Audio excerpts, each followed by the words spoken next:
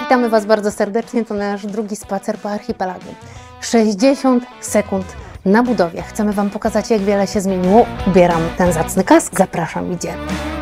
Zaprowadzimy Was teraz do kaplicy. Pokażemy Wam ją. Tak przez lewe ramię, bo tam właśnie część wylewek jest dzisiaj robionych. Kochani, tam jest za nami kaplica. Ciężko pracują panowie. Szykują drugą część wylewek. Możecie zerknąć, po środku już jest wylana podstawa pod ołtarz. I jeszcze raz chciałam z tego miejsca powiedzieć wszystkim: nikt nie będzie zmuszony do bycia w tym miejscu. Do tego miejsca będą przychodzić ludzie, którzy będą mieli taką potrzebę serca.